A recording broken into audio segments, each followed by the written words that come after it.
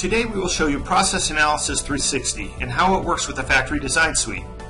Process Analysis 360 is an easy-to-use tool for the general manufacturing user. Let's get started by building a simple model.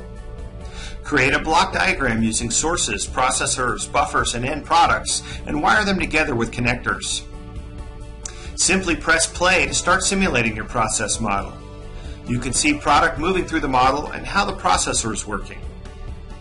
Next, we'll associate factory assets, CAD models of the equipment, with each of the process model entities. Here is a more sophisticated model showing some of the complex manufacturing concepts that you can model with Process Analysis 360.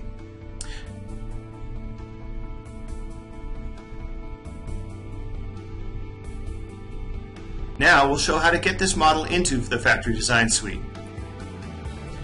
First, we export the model as a DWG file. The model can then be opened in AutoCAD or added to an existing model as an XREF.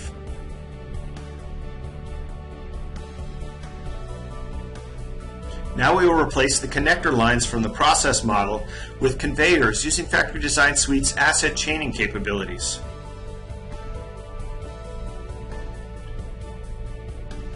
When complete, we can sync to Inventor to show how this whole thing looks in 3D.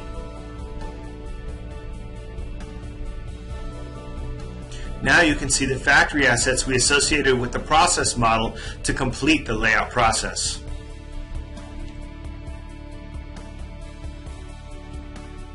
And that's how you create a layout from a simple process model.